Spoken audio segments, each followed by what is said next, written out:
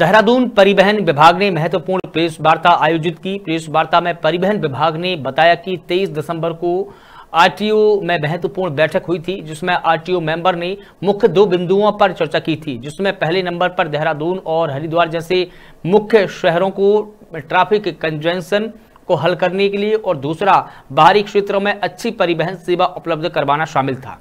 इसके अंतर्गत निर्णय लिया गया कि देहरादून शहर में ट्रैफ़िक को लेकर जो कंजोशन जोन बनाए गए हैं, जिसमें घंटा घर से लेकर दिलाराम चौक तक, घंटा घर से लेकर सर्वे चौक तक और घंटा घर से ही लेकर बिंदुल पुल तक इस जोन के अंदर जितने भी सार्वजनिक वाहन संचालित होंगे, उन्हें जीपीएस से सुसज्जित किया जाना है। देहरादून से अवनीश गुप्ता की रिपोर्ट। आरटीए की बैठक में मेन जैसा मैंने अभी ब्रीफ किया है मेनली हमारा ये जो उद्देश्य है, एक जो जो हमारे ट्रैफ़िक जाम की स्थिति बन रही है, उसमें निर्णायक वो किया गया है, निर्णय लिया गया है कि न सिर्फ़ जो ई रिक्शा हैं, उनको एसएसपी महोदय के माध्यम से बिल्कुल नियंत्रित किया जाएगा, जो हरिद्वार में और देहरादून के अंदर जो एरिया उनको प्रतिबंधित हैं, किसी भी दशा में उनको आठ बजे से आठ बजे तक संचालित नहीं होने दिया जाएगा।